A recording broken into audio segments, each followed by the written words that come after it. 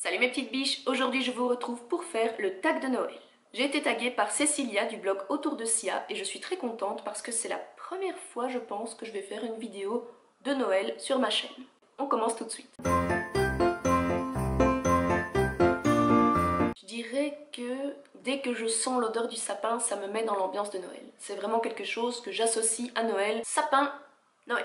Il y a aussi les décorations dans les rues, on met les illuminations, il y a les marchés Noël qui commencent à ouvrir, tout ça, ça sent la fin décembre et ça sent l'hiver et ça sent Noël. Et surtout, les chansons de Noël, parce que ça, c'est vraiment le truc, je trouve, qui met dans l'ambiance. Quand on entend, à partir de fin novembre, Maria Carey en boucle, partout, ça, c'est vraiment le signal que Noël approche. J'aurais plutôt tendance à préférer un sapin naturel pour l'odeur et pour euh, voilà, la beauté de l'arbre, mais je suis un peu comme Phoebe qui, qui hurle quand elle voit que les sapins morts sont passés dans le broyeur. Ça me fait mal au cœur qu'on abatte des arbres en fait pour les mettre dans des maisons. On ne fait pas de sapin à la maison parce que nos deux chats sont absolument infernaux et que je suis sûre qu'ils casseraient tout. Mais si on en avait un, je pense qu'on en prendrait un artificiel du coup. Et puis en plus, c'est plus économique parce qu'on peut le garder plusieurs années. C'est la première fois cette année que j'ai un calendrier de l'Avent, si on compte pas bien sûr les calendriers avec les chocolats, et c'est celui de The Body Shop que mon chéri m'a acheté début décembre. Je pense que c'était genre le 3 décembre, quelque chose comme ça. Il l'a acheté après la vague principale d'achat parce que je voyais tout le monde sur Snapchat qui ouvrait son petit calendrier. Moi j'étais toute tristoune et du coup il m'a fait la surprise de m'acheter celui-là. Et honnêtement pour le moment, je dois dire que c'est plutôt pas mal. Il y a eu des hauts et des bas, mais dans l'ensemble, c'est un très beau calendrier et puis super beau. Je veux dire, rien que ça, ça fait ambiance de Noël dans la maison. Quand j'étais en Belgique, honnêtement, j'y pensais pas vraiment. Oui, j'y pensais parce qu'il fallait faire les cadeaux, il fallait acheter les cadeaux, préparer un petit peu tout ça. Mais sinon, il n'y a pas vraiment d'esprit de Noël. Alors qu'ici, mes amis, Thanksgiving est un jeudi, et bien à partir du vendredi, ça y est, c'est ambiance de Noël dans les magasins, dans la rue, les gens. Franchement, ça me fait penser à ce que Patricia, de la chaîne Patricia B en français, je vous mettrai le lien en barre d'infos, je ne sais plus exactement le nom de sa chaîne, a dit dans une de ses vidéos, aux états unis l'esprit de Noël, il est chez les petits et chez les grands. Tandis que en Europe, du moins en Belgique, c'est plutôt juste les enfants qui sont émerveillés par la magie de Noël et les grands c'est oui mais bon faut faire le repas, faut faire les courses et tout ça. Ici c'est vraiment une ambiance, c'est le cas de le dire et juste après Thanksgiving, les musiques dans les magasins c'est tout le temps, tout le temps, tout le temps Noël donc vous allez avoir Maria Carey, vous allez avoir George Michael, vous allez avoir toutes les chansons Jingle Bells et compagnie et ma préférée, je dois quand même bien la cité, c'est Feliz Navidad. Je vous mettrai aussi le lien pour que vous puissiez l'écouter, je la mettrai en barre d'infos. C'est une chanson à moitié en espagnol et à moitié en anglais, c'est tellement kitsch en fait que ça me fait rire. J'adore, et ça c'est la chanson, dès que je l'entends, je m'imagine à Noël mais, mais en Espagne en fait, donc c'est très drôle. Je m'imagine sous le soleil avec un petit chapeau de Père Noël. Et donc pour conclure ma réponse, ici aux états unis on commence à penser à Noël dès fin novembre.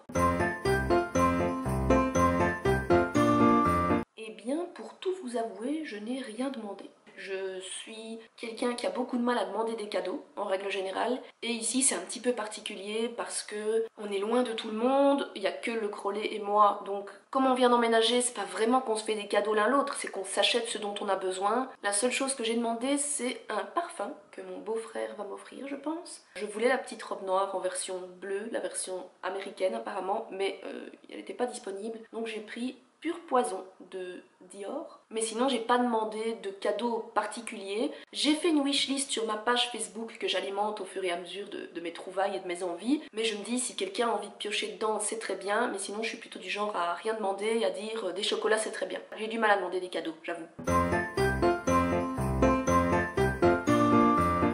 Une fois, cette année, ça va être différent parce que je ne pense pas qu'on va se faire spécialement des cadeaux le 24 ou le 25. Mais d'habitude, le 24, on faisait Noël dans la famille du Crollet et le 25, on était dans ma famille, à moi, chez ma maman. Donc du coup, on avait des cadeaux à ouvrir un petit peu tous les jours, hein, parfois même le 26 ou le 27. Sinon quand j'étais petite et qu'on faisait ça juste chez ma maman, les cadeaux de ma grand-mère et des tantes et des, cousins, cousines et tout ça, on ouvrait plutôt le 24 au soir. On essayait avec ma cousine de tanner tout le monde pour pouvoir échelonner les cadeaux et pouvoir en ouvrir avant minuit. Alors on devenait complètement dingo. Et ensuite, ma maman, elle, elle gardait nos cadeaux à nous en haut parce qu'on faisait ça en bas chez ma grand-mère, et on ouvrait ses cadeaux à elle le 25. Donc j'ai toujours eu un petit peu des deux jours. Oui Je l'ai acheté spécialement pour l'occasion. En fait j'avais envie d'un pull de Noël déjà depuis plusieurs semaines, mais je l'avais pas encore acheté, et puis quand j'ai vu que Cécilia m'avait tagué pour la vidéo, je me suis dit, il y a une des questions, c'est est-ce que tu as un pull de Noël? Tu vas mettre un pull de Noël pour la vidéo. Donc je suis allée chez H&M et j'ai acheté ce pull, qui est noir, tout simple, mais attention, je vais, je vais me caresser un peu, ne vous inquiétez pas, rien de sexuel là-dedans. C'est juste que c'est avec des sequins qui se retournent. La première fois que je le fais, donc c'est un petit peu... J'ai pas encore l'habitude de faire aller mes sequins dans tous les sens. Tada c'est trop mignon, hein Il y en avait plusieurs, mais bon, ça coûtait quand même 20 dollars, donc euh, j'ai pas pris toute la collection. Et j'ai trouvé que celui-là était vachement mignon et en même temps portable, même en dehors de Noël. Je veux dire, tout l'hiver, je vais pouvoir le mettre. Il est confortable, il est doux. C'est mon pull de Noël de cette année. J'adore les marchés de Noël, j'adore cette ambiance très petit village on va faire pas forcément son shopping parce que honnêtement je ne sais pas si j'ai déjà acheté grand chose dans des marchés de Noël mais juste le fait d'aller de cahute en cahute et surtout de boire un bon vin chaud à la cannelle ou un cidre. Ah, Momo l'alcoolo, le retour. L'année passée je me souviens que je parlais tout le temps de bière quand on était à New York. Ici on en a donc ça va. Mais alors le petit vin chaud du marché de Noël de Mons avec nos copains copines, franchement, ça me manque. Ici, je pense pas qu'ils ont du vin chaud, mais il y a du cidre. Donc, je vais peut-être aller faire une expédition ces jours-ci pour aller me boire un petit coup.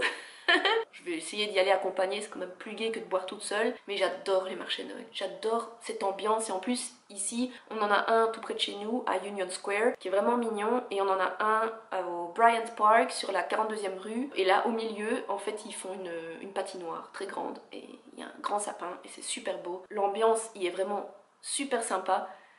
J'adore. Que je me souvienne, chez moi, on a toujours mangé de la Viennetta, donc la bûche glacée. La meilleure du monde, c'est celle avec le biscuit à l'intérieur. Oh, j'en rêve de ce truc-là. Faudrait que je regarde d'ailleurs pour samedi si je peux en trouver une. Elle est délicieuse cette glace. Et d'ailleurs, un petit caprice qui m'est resté, c'est que pour moi, à Noël, le dessert, c'est Viennetta. J'ai jamais mangé de bûche pâtissière, chez moi on n'était pas très gâteau, par contre on était plutôt glace. Oui, même un 24 décembre. C'est resté dans ma tête depuis toujours. Noël, Viennetta. En général, chez ma maman, c'était une dinde, très traditionnelle, avec plein de trucs, avec des petites pommes de terre duchesse avec euh, de la sauce aux érelles, enfin vraiment un repas euh, très très classique de Noël. Le 24 au soir chez ma belle-maman c'était toujours divers et variés parce qu'elle adore cuisiner donc elle faisait plein de trucs, plein de plats, plein d'entrées, plats, desserts, fromage, fruits. C'est une maman italienne, hein bisous mamina si vous passez par là, je, sais que vous regardez mes vidéos donc petite dédicace. Ça changeait souvent d'année en année mais chez ma maman en général c'était de la dinde avec euh, les accompagnements. Et l'année dernière j'étais déjà végétarienne donc j'ai mangé je ne sais plus quoi j'ai mangé chez ma marraine. Elle m'avait pris un, truc végé un substitut de viande végétarien. Et cette année je n'ai aucune idée de ce que mon petit mari va me faire étant donné qu'on fait un repas à quatre avec nos amis Joe et Mac. Je ne sais pas du tout ce qu'il va me concocter cette année. Je vous tiendrai au courant certainement sur les réseaux sociaux. Je ne doute pas que ce sera bon comme toujours je n'ai jamais vraiment dû préparer Noël à part les deux années où j'ai organisé le repas, on va dire, et j'ai cuisiné tout ça. Incroyable pour moi, franchement, quand j'y pense. Je me demande où est cette Momo, parce que depuis que je suis avec le Crowley, je n'ai plus jamais cuisiné. Et je pense que j'ai cuisiné uniquement deux fois dans ma vie. Ce sont les deux fois de Noël. Sinon au niveau des cadeaux c'est à l'extrême. Soit je commence déjà à faire les cadeaux en octobre et je me dis ouais c'est génial je repère ça à l'avance donc je sais que ça ça va plaire à une telle, un tel et tout. Ou alors le 24 au matin on se rend compte que oh, mince on a oublié ou oh mince on n'a pas trouvé pour euh, telle personne et donc on se retrouve à courir les magasins bondés bien évidemment sinon c'est pas drôle et ça c'est le truc qu'on faisait tous les ans on emballait les cadeaux juste avant de partir. C'était vraiment le truc en plus qui m'énervait parce que je me disais mais dans quelques heures le papier va être déchiré. Mais encore une fois, cette année, on la joue à la cool. En plus, on commande tout sur Amazon, donc j'ai envie de vous dire, pas de stress cette année. J'adore aller voir les animations en ville, toutes les lumières, tous les marchés de Noël, comme je disais un peu plus tôt, tous ces petits trucs, même s'il y avait une chorale de Noël ou quoi, j'irais la voir, j'adore cette ambiance. Je trouve que c'est tellement festif et c'est tellement un moment dans l'année où les gens sont contents de faire la fête. Je dis pas que d'habitude ils sont pas contents de faire la fête, mais on dirait que c'est vraiment la période dédié. C'est Noël, alors tout le monde est ouh, tout le monde est guilleré. En plus, c'est vrai que j'ai la chance de vivre maintenant dans un endroit où il y a beaucoup de décorations. J'espère que ça vous plaît d'ailleurs quand je vous montre quelques petits endroits de la ville où il y a des belles décorations. Du coup, oui, ça c'est vraiment quelque chose que j'adore. Et voilà, c'en est fini pour ce tag. J'espère que vous aurez apprécié. N'hésitez pas à me donner vos réponses. Je vais mettre la liste des questions dans la barre d'infos. Vous pouvez me faire un petit copier-coller en commentaire et me donner vos réponses à vous. Ça m'intéresserait vraiment de savoir ce que vous mangez, ce que vous faites à Noël, euh, si vous ouvrez vos cadeaux le 24 ou le 25. Je vais taguer à mon tour quelques copines. Je vais taguer Sandrine Elfiotte, Caro de la chaîne Satin Taupe, Zoé de la chaîne S'aimer pour être belle et je vais aussi taguer Lauriline parce que je me dis que dans tes vlogmas ou peut-être dans une vidéo de Noël, ça pourrait être sympa. N'hésitez pas les filles à faire ce tag et surtout à me le dire si vous le faites, j'irai voir vos vidéos avec plaisir. En attendant la prochaine vidéo, je vous fais des gros bisous de Mère Noël et je vous dis à bientôt et bonne fête.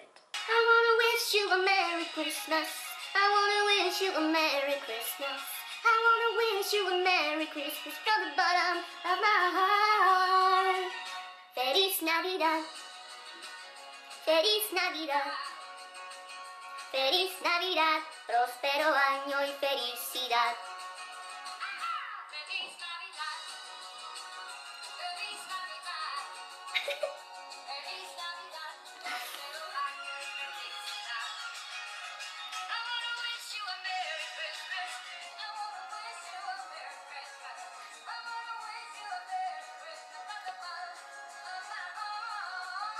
Feliz Navidad.